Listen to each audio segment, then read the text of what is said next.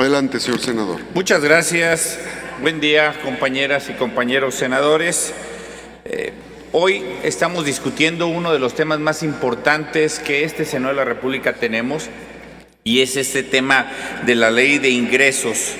Es irresponsable lo que hoy se está planteando y engaña porque es un proyecto que está sustentado solamente en proyecciones macroeconómicas y en buenos deseos. Me parece muy preocupante cómo a través de una ley de ingresos que se dice que vamos a tener un crecimiento que no hemos tenido en los últimos tres años o en los últimos cuatro años, que vamos a tener una plataforma de extracción de petróleo que tampoco hemos tenido, que se van a comportar muchas cifras que todos los mexicanos quisiéramos que se comportaran para poder tener realmente dinero, no va a ser así. En el caso de México el impacto esto podría ser mucho mayor debido a la estrecha relación que tenemos con Estados Unidos. Sin embargo, pese a este escenario para el gobierno federal, todo ha sido optimismo y sigue hablando de cuentas alegres y al día de hoy no ha atinado ni una sola cifra. Hay que hacer una analogía que si el presidente le gustara jugar al melate, pues yo hubiera perdido muchísimo dinero porque no ha anotado ni una sola quiniela. Es irresponsable que el gobierno de Morena calcule un crecimiento económico tres veces mayor al que se estima.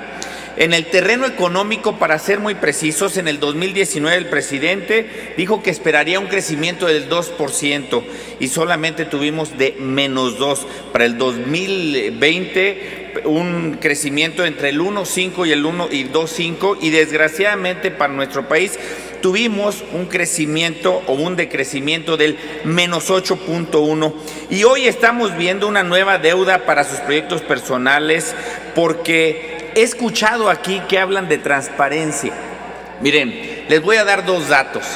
El presidente decía que cuando un proyecto pasa el 20% de lo que se presupuestó, hay corrupción. Eso lo ha dicho muchas veces. Y les doy un dato. Cuando dijo que la refinería Dos Bocas costaría 8 mil millones de pesos y después dice, ¿qué creen? Me excedí poquito, poquito nada más me excedí 20 mil millones de pesos. Bueno, pues yo le preguntaría al presidente si en ese contrato también hay corrupción, porque hay que recordarle que el 90% de los contratos que se adjudican en este país no, son, no se licitan. Son adjudicaciones directas y que es algo que el presidente durante muchos años, 12 para ser preciso, estuvo eh, criticando de los anteriores gobiernos. Y el presidente fue muy fácil en campaña decir muchas cuestiones que él decía que íbamos a tener o que se iban a solucionar. Y les voy a pasar un audio que ustedes lo deben recordar perfectamente bien. nuestro compromiso precio de las gasolinas, el diésel, el gas y la energía eléctrica, el beneficio de consumidores, transportistas. El presidente los dijo a los mexicanos muchas veces que cuando su movimiento ganara bajarían prácticamente todos los energéticos. Hoy dicen que estamos muy bien. Yo les quiero preguntar a todos ustedes cuánto costaba el cilindro de 30 kilos de gas en el 2012, 370 pesos y hoy cuesta 700 pesos. ¿Cuánto costaba el kilo de tortilla en el 2012? y cuánto cuesta el día de hoy. Y así nos podemos ir viendo muchos de los temas que hoy vemos que no se ha podido cumplir.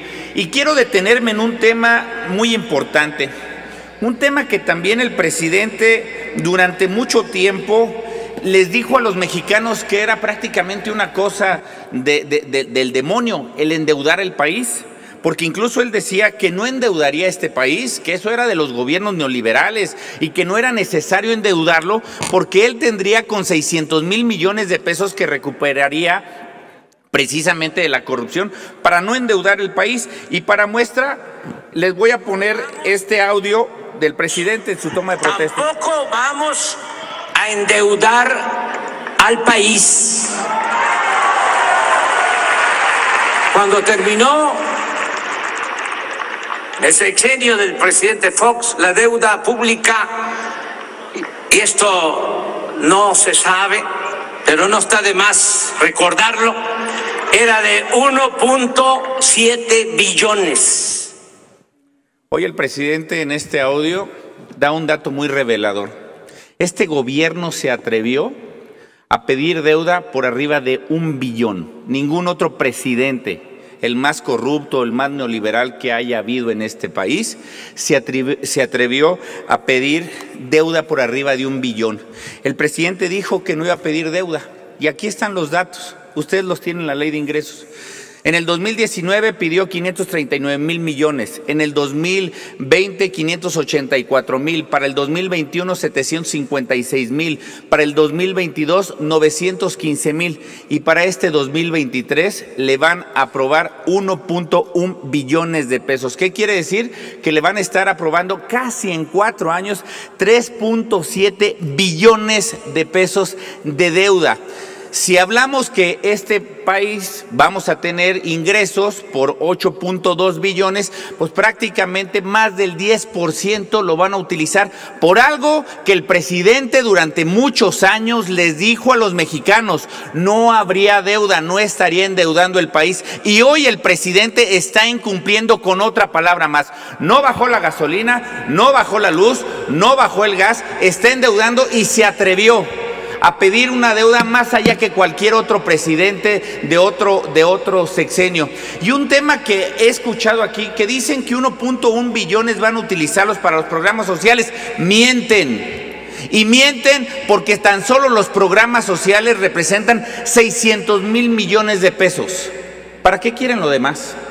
Y les aseguro que el siguiente año van a tener que endeudar nuevamente el país más arriba de un billón de pesos por una simple y sencilla razón. Las cuentas no les están saliendo. Eso hay que decírselo a los mexicanos. Y yo los reto a que le digan al pueblo de México que este presidente en lo que va de su sexenio ha endeudado prácticamente lo que el presidente Peña Nieto endeudó en seis años.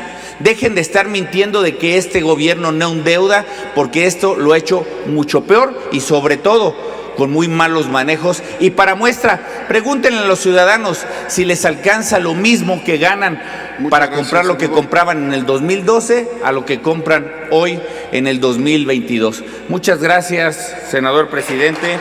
Es cuanto.